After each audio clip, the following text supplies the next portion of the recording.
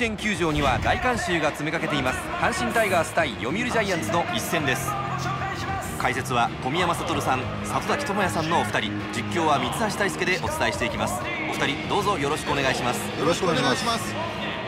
小宮山さん今日もたくさんのお客さんが入りました。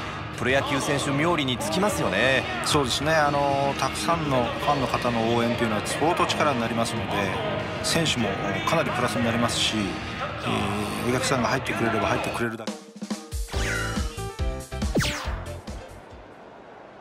まあ小宮山さんここはしっかり抑えたいですよね。ここは落ち着いて投げてもらいたいですね。うんそうですね。さあ改めて集中していきたい場面です。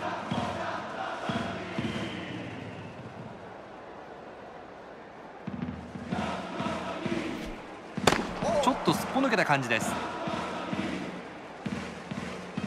2球目は何で来るか。内へのシュートが外れます。ボール先行です。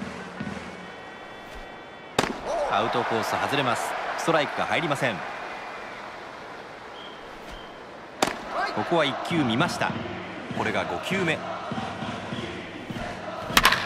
ました。いい打球だ。伸びていく。どうだ。入れば勝ち越し。届いた。勝ち越しのホームランです。この終盤勝利に近づく大きな一発となりました。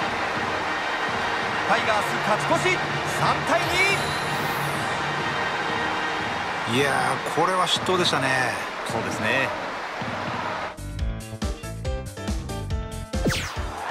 タイガースがなんと劇的なサヨナラで勝利しました小宮山さんやはりサヨナラ勝ちというのは通常の勝利よりも数倍興奮しますよね。まあそうですね。本当にサヨナラ勝ちぐらいしびれる試合ないですからね。いやー素晴らしいゲームでした。勝ったタイガースサヨナラ勝ちという劇的な勝利をものにしました。一方のジャイアンツですが惜しくも敗れてしまいました。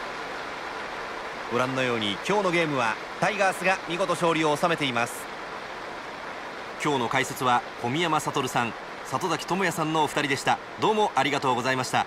ありがとうございました。この辺りで甲子園球場から失礼いたします